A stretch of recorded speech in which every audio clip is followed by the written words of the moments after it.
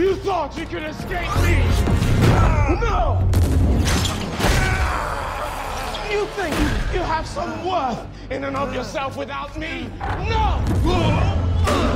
You're an abomination! Nothing more than a step on my path! You freakish little monster! How dare you think you are more?